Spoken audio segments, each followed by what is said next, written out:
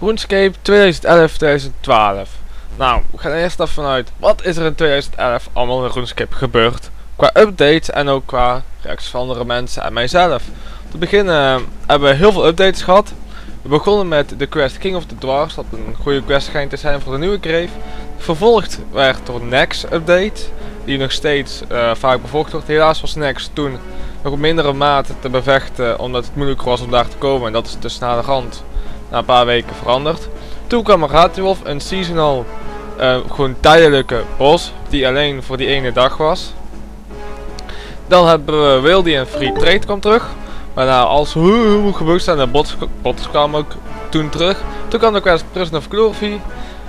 Nou, vredige quest was dat. Het gaat voor uh, de gnome uh, lijn, zeg maar. Nou, toen kwam een skill Bonanza, een beetje van die urns. Wilde wel weer een seasonal bos. Elemental Workshop 4, waarvan wij dus nog verder wachten. Artsens Workshop. De Ring of Veld verandering. Dus met die speciale drop tables. Een grote quest, daar ik ook nog Sirine of zo. Gewoon een piratenquestlijn. Waarvan nog eentje achteraan komt. Toen kwam Livet Farm. Die nog steeds nog wordt saai gevonden velen, maar wel bruikbaar is. Grand Camp. Een grote update. Zelf van, uh, van. Wat een goede improvement gaf. Toen kwam Case of Distinction. Nou, die zijn wel te merken al die nieuwe capes. Daarvan Flowmine. Dus met een nieuwe mineplek. De Deadheads voor PvP'ers en duellers. De Sajas van de, van de Dungeonering. De quest Cash, korte quest, maar ja, veel XP. Troll Invasion, de gratis XP iedere maand, als je hem goed doet. Uh, voor de rest nog een paar updates in de Tsar. Van die minigame, de Tsar Pit, als je dan bij elkaar komt, de gezamenlijke wereld. Vervolgens kwam de loyalty uit, waarvan heel veel commotie was dat ze members gingen omkopen. En dat er al zoveel botters waren, dat ze daar niks aan deden. Toen kwam een quest Salt in the Wound met de pilaar die op de bos viel, waarvan mensen helemaal niet blij waren dat het zo eindigd is. Hoe heb ik gevecht hebben. Dus iedereen was al heel boos geworden. Daarna, toen Jedinculair. Toen was ook boos omdat het niet voor uh, alleen dus uh, als leertask is, maar met dus ook de Fine Whip. Was eerst heel duur, toen goedkoop en ja, achteraf gezien vindt het allemaal wel een goede update. Toen kwam de grootste update van het jaar 2011, toen kwam de Clan Citadel. Wat nog steeds ook gebruikt wordt door mijn clan. En we zijn nog altijd bij dat we die nog hebben. Vervolgens kwam de audio update waardoor een aantal uh, geluiden anders werden. Er is niet veel mening over geweest. Voor de rest is trouwens Clan Citadel is door vele clans ook al uh, niks geworden. Dus de helft van yeah, en dan heeft dat iets van bleh. Nou, toen kwam teleport tracking. Daar was uh, iedereen heel trots op. Met de nieuwe rewards en hoe het er allemaal nu uitzag. Toen kwam de nieuwe minigame rewards ook. Zoals, um, ja, is bij uh, Pyramid Plunder dat je ook Black Ears kan krijgen in Scepter of the God. Dus, nou ja, niet iedereen is zoiets van, moh, yay. Toen kwam Branches of Darkmire, waarvan velen dachten dat het de eindquest was, maar dat dus niet zo was. Iedereen was boos die het niet wist en de rest iets van, yeah, goede quest. Dus nog steeds blij dat we die hebben. Toen kwam Ritual of the Majrat. De quest waar iedereen zat te wachten. Hij is goed gevonden mensen, ze vinden hem allemaal leuk. Loyalty Badge 2, waar ze weer een beetje boos. Chat en cameraverandering, dat je met scroll uh, kan draaien en dat die chats uh, ook iets anders te, in elkaar kan zitten. De pit, een minigame waarvan iedereen meer had verwacht van Agility. Toen kwam de botnuke. Uiteindelijk een grote moment waarop Jatex echt liet zien wat er ging gebeuren. De Dominion Tower.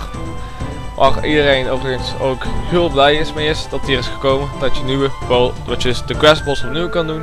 De quest One Piercing Note met als uitvinding van alles is uh, ingesproken. Is mooi gevonden door iedereen. Um, dan RuneScape Revolution, dus de nieuwe look daarvan. Niet iedereen is daar blij over. Maar zo, de pluitjes zijn te groot en dat soort dingen. Ook met het bloem effect erbij is gekomen. Dat nog steeds een beetje glitch is, maar dat zal nog wel gefixt worden. Dan de Polypore Dungeon. Um, waarvan Magic eindelijk zijn terugkomst kreeg in kost-efficiënt ook en kracht. Waardoor de combat triangle meer um, stabiel staat. Ook met de nieuwe Canothermic armor. Is allemaal goed en goedkoop. De Yachty Badge 3 had deze maand al hebben gezien. Sinds de Bullduke is geweest hebben ze daar minder moeite mee. En dan de Flash Powder minigame van Agility, wat dus meer, meest Agility XP per uur kan geven. Buiten dat nog altijd die standaard events. Zoals uh, Halloween, kerst, Pasen en zo. En verder nog wat jullie in mijn video's zagen waren heel veel guides. Waaronder bundles, agility, engineering. Engineering gaat ook heel opnieuw gemaakt worden. Um, en ook van die video's zonder geluid en zonder inspraak. Zoals de, die van Bon voor PVM bla bla bla. Hoef je niet op te letten. Laat dat maar zitten. Verder um, is nu de gedachte. Wat gaat er komen in 2012? Nou, voor de mensen die op Broenvest zijn geweest, weten daar meer vanaf dan ik. Maar ik kan je wel vertellen dat uh, Hati sowieso terugkomt, aangezien dat een seizoenlijk bos was. Die zal in januari al terugkomen. Zo ik denk zo rond 17 januari. Net als de vorige keer, dus met januari. Let op, met januari. Met januari. Uh, verder zullen we nieuwe bossen zien, zoals de Queen Black Dragon, de Calpite King.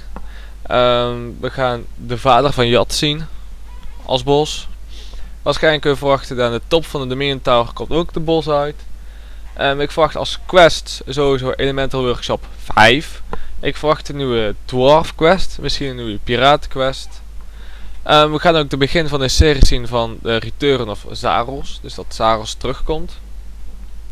Verder als Luke uh, verwacht ik dat heel RuneScape, of bijna heel RuneScape, de nieuwe trees heeft, zo gezegd. Dus de nieuwe look. Um, we gaan ook uh, nieuwe armor zien. Dus dat brons, iron en zo allemaal wordt veranderd. En dat allemaal life boost geeft ook erbij. Net als Thor van Panics. En dan ja, Thor van Panics dus nog wat meer dan de rest. En dat het ook echt verschil ziet hoe het eruit ziet. Verder gaan we van mijzelf nog wat meer guides zien. Um, waaronder jullie dus nog steeds wat aanvragen. Waaronder de Sparberna die als eerst aankomt. Um, ik heb ook een beetje hint gekregen van iemand die kwam in private toevoegen. Maar ik bedoel, hij is nog steeds niet online gekomen. Dus gewoon ook een guide van wat je moet doen als je net member bent. Dus als eerste member. Wat de echte belangrijkste dingen zijn. Wat je ook nodig hebt om eigenlijk als mijn suggestie member te worden. Verder, ik heb nog meer guides nodig. Dus gewoon aanvragen. Dan zal ik even kijken wat ik kan gaan doen. Firecape guide zal als goed is aankomen. Ik weet niet hoe ver die persoon is. Want hij wil eerst 90 eentje te halen en zo. Uh, RuneScape zelf nog. Ja, ik denk dat het vooral een bos gerelateerde en een clan gerelateerde uh, maand zal worden. Of misschien zelfs een quest gerelateerde. En we verwachten ook in 2012 dus de nieuwe skill, zo gezegd. Het gat wordt gevuld. Waarvan denken, of mensen denken dat loyalty points dit gat is. Heb ik al gelezen, maar anderen denken van niet. Dat het gat nog gevuld wordt. Misschien een skill, soms van niet. We weten niet wat schijnt dat iedere MMORPG spel het heeft, behalve RuneScape. Dus ja, we zullen zien. En als het goed is ook de rebalance van uh, de Combat Triangle.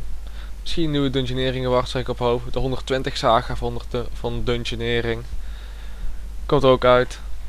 En uh, nou, daarbij is dus, uh, dat kunnen we verwachten in 2012 als update. Dus ik wens jullie ook allemaal nog een gelukkig nieuwjaar. En een fijn 2012 updatejaar.